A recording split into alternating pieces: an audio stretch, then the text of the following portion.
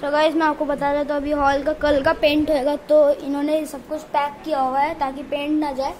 तो best quality आप ऐसे पेंट का यूज़ करिए। तो तो ये अंकल पेंट कर रहे हैं यहाँ पे तो।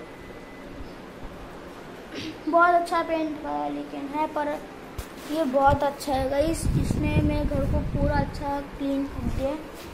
ये देखिए गाइस मतलब ये तो उन्होंने वो लगाया गाइस पुट्टी तो ये है, मैं आपको बता देता हूँ ठीक है प्राइमर है गाइस ये। ताकि ये इस पर कुछ डस्ट ना जाए। और ये जो ब्लैक अगर से आपकी दीवार फूलती है तो ब्लैक ब्लैक से कुछ आता है गाइस वो ताकि वो फूलता नहीं है। बॉक्स दिखा देता हूँ गाइस मैं आपको वो वाला। ये देखिए गाइस ये वाला है।